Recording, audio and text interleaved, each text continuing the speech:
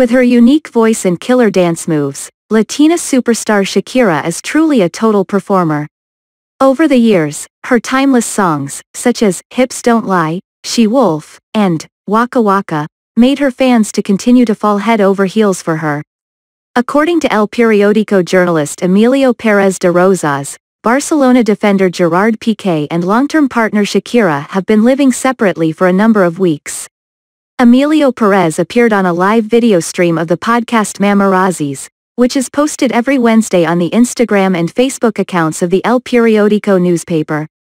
The journalist claimed that the world-renowned pop star caught Pique cheating with another woman a few weeks back, which has led to the alleged split. Let's look at Shakira's ex-boyfriends and dating history Shakira's first boyfriend long before her career started.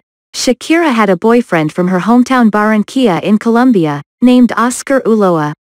In an interview with La Red, Ulloa talked about his teenage romance with the Latin superstar, saying that the singer was the perfect girlfriend.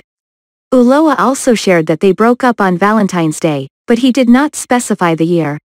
Reports further noted that Shakira's song, Antologia, was written about her relationship with Ulloa.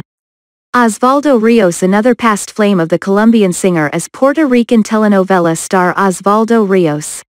According to Pop Sugar, the two dated around 1997, with Shakira only talking about their relationship once. The two reportedly dated for eight months.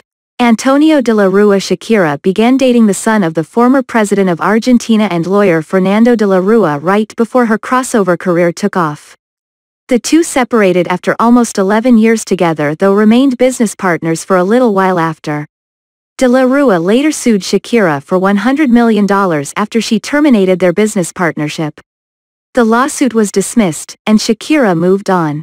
Gerard Piqué Shakira met Piqué on the set of the music video for her song, Waka Waka, this time for Africa, and according to her song, Me Enamoré, it was love at first sight. Shakira and Piqué have been together ever since and have two sons together, Milan and Sasha.